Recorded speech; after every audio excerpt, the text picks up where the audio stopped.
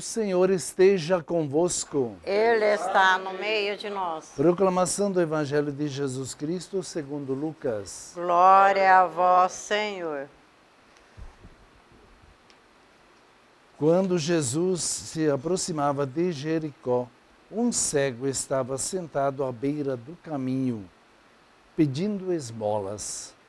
Ouvindo a multidão passar, ele perguntou o que estava acontecendo. Disseram-lhe que Jesus Nazareno estava passando por ali. Então o cego gritou: Jesus, filho de Davi, tem piedade de mim. As pessoas que iam na frente mandavam que ele ficasse calado, mas ele gritava mais ainda: Filho de Davi, tem piedade de mim.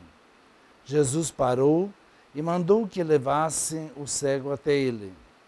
Quando o cego chegou perto, Jesus perguntou: O que queres que eu faça por ti? O cego respondeu: Senhor, eu quero enxergar de novo. Jesus disse: Enxerga, pois, de novo. A tua fé te salvou. No mesmo instante, o cego começou a ver de novo e seguia Jesus, glorificando a Deus.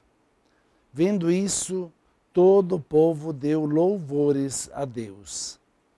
Palavra da salvação. Glória a vós, Senhor. Caros irmãos e irmãs que nos acompanham pela rede, pela TV Imaculada, neste início de semana, nesta segunda-feira, nós somos motivados a buscar sempre a luz divina para guiar nossos passos, sabendo que o mundo nos põe desafios.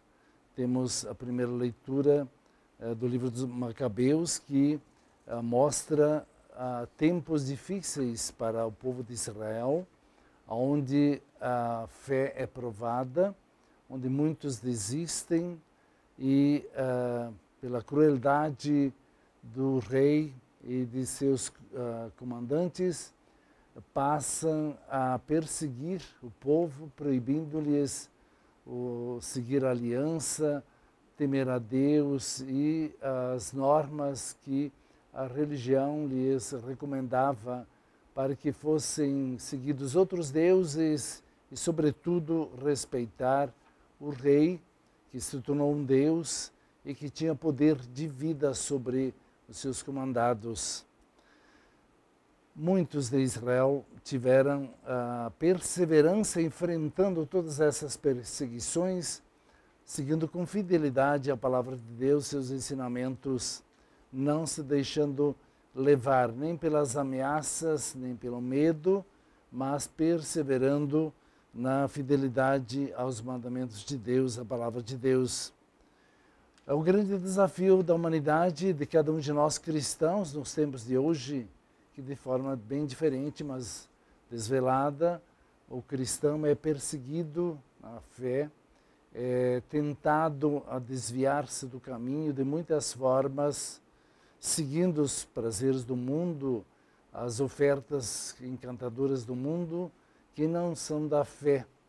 Aqueles que verdadeiramente querem seguir o Senhor, encontram o conforto naquele que é Senhor da luz e da vida.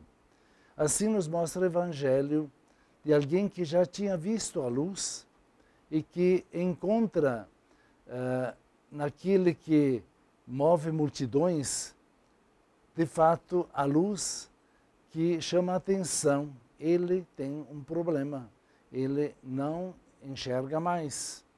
Ele gostaria, deseja ardentemente ver.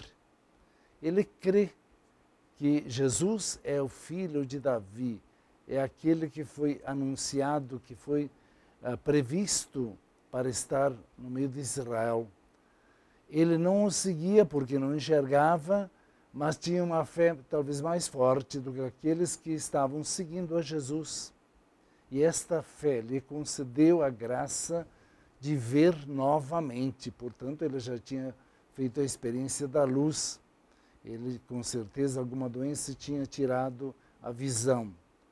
Mas a fé naquele que veio da parte de Deus lhe dá a graça de ver, ver novamente.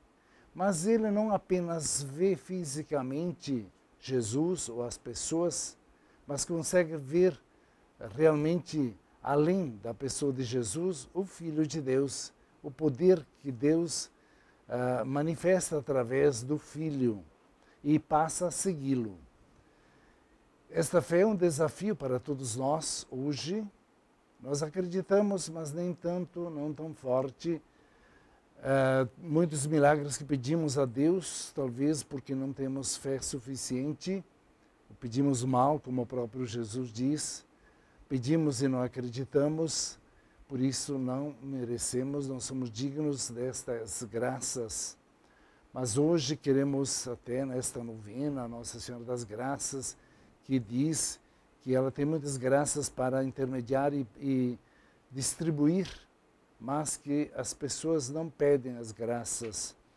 Portanto, tenhamos muita fé, especialmente os doentes que precisam da ajuda, precisam do alívio nos sofrimentos, precisam enxergar para além da doença e ver a presença de Deus, a força de Deus e as pessoas que fazem o bem, que cuidam e possam uh, cultivar um caminho que uh, os leve de fato cada vez mais em comunhão com aquilo que veio da parte do Pai, manifestar que Deus é Pai, envia até o próprio Filho para que aprendamos a viver essa comunhão e ver a grandeza do amor de Deus partilhado de muitas formas até nós e que através da fé possamos ver os, e nos pequenos sinais a presença de Jesus o Salvador.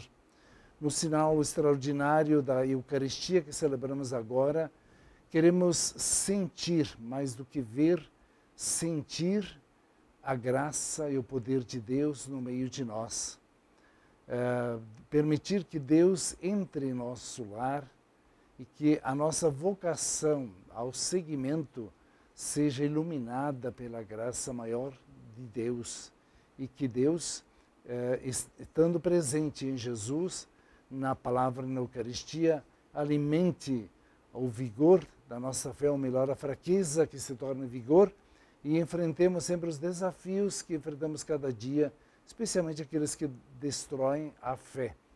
E que nunca percamos a luz da vida, luz do caminho. Especialmente hoje queremos rezar pelas pessoas que têm limitações na visão e que possam ser iluminadas e abençoadas e que reconquistem a graça de poder ver, ver a beleza da criação.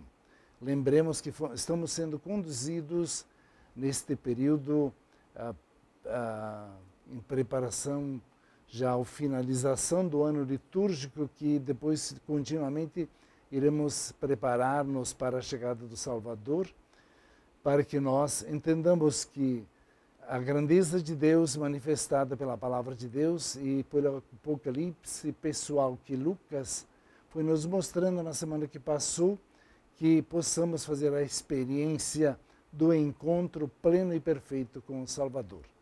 Que a graça de Deus atue em cada um de nós e sejamos cada vez mais visíveis aos olhos de Deus e possamos ver a Deus cada vez mais para manifestá-lo e testemunhá-lo às pessoas. Confiando neste amor e nesta visão divina, eh, continuamos celebrando o mistério da fé que está no meio de nós e ele nos acompanha. Louvado seja nosso Senhor Jesus Cristo. Para sempre seja louvado. Dirigimos agora, com fé e confiança, as nossas preces ao Senhor.